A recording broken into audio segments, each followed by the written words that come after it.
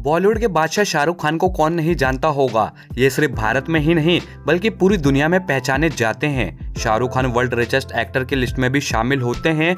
इन्होंने बिना किसी गॉडफादर के बॉलीवुड में अपना सिक्का जमाया और कड़ी मेहनत करके एक मुकाम हासिल किया और आज करोड़ों रुपए कमा चुके हैं, जिससे वो अपने शौक को पूरा करते हैं। दोस्तों, आज की वीडियो में हम शाहरुख खान की लाइव स्टोरी के साथ उनकी लाइफ स्टाइल भी जानेंगे। तो आप इस वीडियो को पूरा ज़रूर देखिएगा।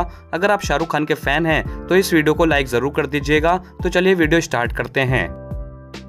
शाहरुख का रियल नेम शाहरुख खान है और इनको प्यार से S K king Khan, king of romance और बादशाह कहते हैं। शाहरुख का जन्म 2 नवंबर 1965 को न्यू दिल्ली में हुआ और 2023 के हिसाब से अट्ठावन साल के हैं। दोस्तों, इन्होंने अपना बचपन दिल्ली के राजेंद्र नगर में गुजारा। इनके पिता इंडिपेंडेंस एक्टिविस्ट थे और जीवन यापन के लिए दिल्ली में रेस्टोरेंट का कारोबार किया करते थे और पूरा परिवार एक किराए के मकान में रहता था। शाहरुख ने स्कूल की पढ़ाई सेंट कोलम्बिया स्कूल से की। स्कूल के दिनों में शाहरुख पढ़ाई के साथ साथ खेल कॉम्पिटिशन जैसे की क्रिकेट, फुटबॉल और नाटक में भी पार्टिसिपेट लिया करते थे और कई दफ़ा इन्होंने फ़र्स्ट प्राइज भी जीता था। इसके बाद इन्होंने दिल्ली यूनिवर्सिटी के हंसराज कॉलेज से बीए इन इकोनॉमिक्स की डिग्री हासिल की। इसके बाद इन्होंने आगे की पढ़ाई के लिए जामिया मिलिया इस्लामिया यूनिवर्सिटी दिल्ली में अपना दाखिला करवा लिया, जहाँ पर ये मास कम्युनिकेशन में मास्टर कर रहे थे। हालाँकि फ़िल्मों में करियर बनाने के लिए इन्होंने बीच में ही पढ़ाई छोड़ दी, क्योंकि इनका मन पढ़ाई से ज़्यादा नाटक और थिएटर में लगता था। इसके बाद इन्होंने कुछ साल नेशनल स्कूल ऑफ़ ड्रामा में भी बिताए, जहाँ पर ये थिएटर किया करते थे। अब बात करते हैं शाहरुख खान के करियर के बारे में। शाहरुख का पहला टेलीविज़न सीरियल था दिल दरिया। हालाँकि इसकी शूटिंग में देरी होने के कारण इनका टेलीविज़न डेब्यू फौजी नाम के सीरियल से हुआ था, जिससे इन्हें काफ़ी पॉपुलरिटी मिली थी। इसके बाद कई तरह के टेलीविज़न सीरियल में काम करने के बाद इन्होंने अपना बॉलीवुड में डेब्यू साल उन्नीस में आई फ़िल्म दीवाना से किया था। इस फ़िल्म से इन्हें काफ़ी तारीफ़ मिली थी। इसके बाद इन्हें बॉलीवुड में फ़िल्मों का ऑफ़र मिलने लगे। शुरू में तो इन्हें फ़िल्मों में नेगेटिव रोल मिला करता था, जैसे कि बाजीगर और डर। इन फ़िल्मों में शाहरुख ने अपने ज़बरदस्त नेगेटिव किरदार निभाकर बॉलीवुड में अपना सिक्का जमाया। इसके बाद शाहरुख ने कई रोमांटिक फ़िल्में की, जैसे कि दिल वाले दुल्हनिया ले जाएँगे। कुछ कुछ होता है, दिल तो पागल है परदेश देवदास और कई फ़िल्मों में बेहतरीन एक्टिंग के बदौलत इन्हें रोमांस किंग कहा जाने लगा। इनकी फ़िल्म दिल वाले दुल्हनिया ले जाएँगे ने तो इतिहास रच दिया और बॉक्स ऑफ़िस इंडिया की से इस फ़िल्म को ऑल टाइम ब्लॉकबस्टर फ़िल्म घोषित किया गया।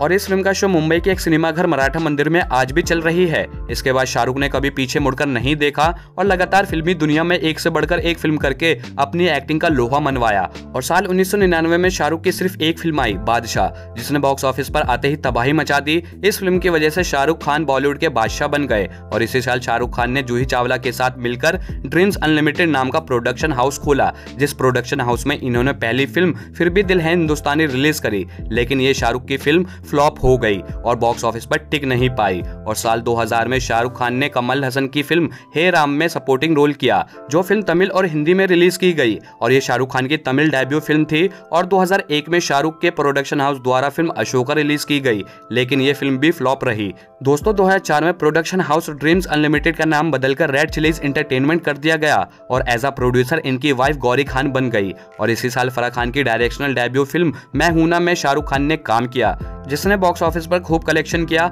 और ये वही साल था जिसमें शाहरुख खान की फ़िल्म स्वेडेस आई, और ये भारत की पहली ऐसी फ़िल्म बनी, जिसको नासा में शूट किया गया, और साल 2004 के बाद शाहरुख खान ने कई बॉलीवुड फ़िल्म में काम किया, जिनमें से कुछ फ़िल्मों के नाम हैं, चक दे इंडिया, ओम शांति, ओम रब ने बना दी जोड़ी my name is Khan, Raavan, Don two, Chennai express, Dilwale fan और ज़ीरो, और अब दो हज़ार तेईस में शाहरुख खान की फ़िल्म पठान आई, जो बॉक्स ऑफ़िस पर धूम मचा रही है। दोस्तों, पठान मूवी आपने देख ली है? अगर देख ली है तो कैसी लगी कमेंट करके ज़रूर बताना। और साल 2023 में शाहरुख खान की फ़िल्म जवान और डुंकी आने वाली है। आप हमें कमेंट करके ज़रूर बताना, शाहरुख खान की कौन सी फ़िल्म आपकी सबसे फेवरेट फ़िल्म है? अब बात करते हैं शाहरुख खान के हाउस के बारे में। तो दोस्तों, मैं आपको बता दूँ, शाहरुख खान का आलिशान बंगला मन्नत है, जिसे शाहरुख खान ने मुंबई के बैंड स्टैंड में तेरह करोड़ रुपए में खरीदा था। मीडिया रिपोर्ट्स के मुताबिक, मन्नत की कीमत फ़िलहाल करीब 200 करोड़ रुपए है। हैरान करने वाली बात तो यह है कि मन्नत के केवल नेम प्लेट ही लाखों रुपए की है, जिसे खुद गौरी खान ने डिज़ाइन किया था। इसके अलावा अलीबाग में भी शाहरुख खान का घर है, जहाँ पर अक्सर फैमिली के साथ हॉलीडे एंजॉय करने के लिए जाते रहते हैं। इस घर की कीमत पंद्रह करोड़ रुपए है। शाहरुख खान का दुबई के पाम जुमेरा में एक आलिशान विला है, जिसकी कीमत 100 करोड़ रुपए है। Dubai based property developer Nakheel ने इस विला को साल 2007 में शाहरुख खान को गिफ्ट के तौर पर दिया था। मुंबई और दुबई के अलावा शाहरुख खान का लंदन में भी घर है, जो एक सौ बहत्तर करोड़ रूपए का है। शाहरुख खान जब भी परिवार के साथ लंदन जाते हैं, वे परिवार के साथ वहाँ वक्त बिताते हैं। चलिए मिलवाते हैं आपको शाहरुख खान की फैमिली से। तो दोस्तों, इनके पिता का नाम है ताज मोहम्मद खान, जो कि एक बिजनेसमैन थे, और इनकी माँ का नाम है लतीफ फातिमा, जो कि एक मजिस्ट्रेट और सोशल वर्कर थी। और शाहरुख खान की एक बहन भी है, जिनका नाम है शहनाज ललारुख। और इनकी वाइफ है गौरी खान, जिनसे इन्होंने 1991 में शादी की, जो कि एक फ़िल्म प्रोड्यूसर और इंटीरियर डिज़ाइनर है। दोस्तों, इनके तीन बच्चे हैं, दो बेटा और एक बेटी। इनके बड़े बेटे का नाम है आर्यन खान और छोटे बेटे का नाम है अब्राहम खान और इनकी एक बेटी है जिनका नाम है सुहाना खान। अब बात करते हैं शाहरुख खान के कार कलेक्शन के बारे में। तो दोस्तों, मैं आपको बता दूँ, शाहरुख कार के काफ़ी शौकीन हैं, जिस चलते इनके कलेक्शन में कई लग्जरी और महँगी कारें शामिल है, जिनमें पहली कार है हायुंदाई क्रेटा जिसकी कीमत है सत्रह लाख रुपए। और दूसरी कार इनके पास है मिट्सुबिशु पजेरो जिसकी कीमत है पच्चीस लाख रुपए। और वहीं Shahrukh Khan Audi A eight L भी ओन करते हैं, जिसकी कीमत है एक करोड़ सत्तावन लाख रुपए। और दोस्तों, शाहरुख के पास टोयोटा लैंड क्रूजर भी है, जिसकी कीमत है डेढ़ करोड़ रुपए। वहीं शाहरुख खान बीएमडब्ल्यू की एमडब्ल्यू आई एट भी ओन करते हैं, जिसकी कीमत है दो करोड़ चौदह लाख रुपए। और शाहरुख के पास B MW six series convertible भी है, और इस कार की कीमत है एक लाख उन्नीस हज़ार रुपए। और शाहरुख के पास बी एमडब्ल्यू सेवन सीरीज़ भी है, जिसकी कीमत है दो करोड़ बयासी लाख रुपए। और नाइन्थ नंबर पर आती है शाहरुख की Land Rover Range Rover Sport जिसकी कीमत है दो करोड़ उन्नीस लाख रुपए। और वहीं शाहरुख के पास बेंटली कॉन्टिनेंटल जीटी भी है और इस कार की कीमत है तीन करोड़ सत्तावन लाख रुपए। और दोस्तों, शाहरुख खान उन एक्टर में भी शामिल होते हैं जिनके पास रोल्स रॉयस है। इनके पास Rolls Royce Phantom drop head coupe है, जिसकी कीमत है सात करोड़ साठ लाख रुपए। और वहीं मैं आपको बता दूँ, शाहरुख खान की सबसे महँगी कार है बुगाटी वेरोन जिसकी कीमत है दोस्तों बारह करोड़ रुपए। शाहरुख के पास एक वैनिटी वैन है, जिसको कस्टमाइज की गई है, और इस वैनिटी वैन का नाम वोल्वो वी आर नाइन है, जिसकी कीमत है चार करोड़ रुपए।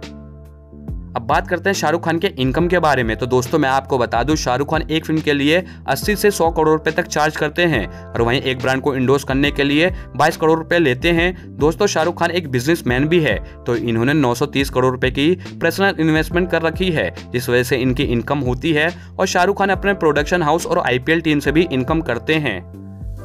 वहीं बात करें शाहरुख खान के नेटवर्क के बारे में तो दोस्तों मैं आपको बता दूँ, Shahrukh Khan world richest actor में शुमार होते हैं, जिस चलते इनके नेटवर्थ है छह करोड़ रुपए। तो ये थी शाहरुख खान की लाइफ स्टाइल वीडियो आपको वीडियो कैसी लगी, आप हमें कमेंट करके ज़रूर बताना, और ये भी कमेंट करके ज़रूर बताना नेक्स्ट वीडियो किस सेलिब्रिटी के बारे में चाहते हैं।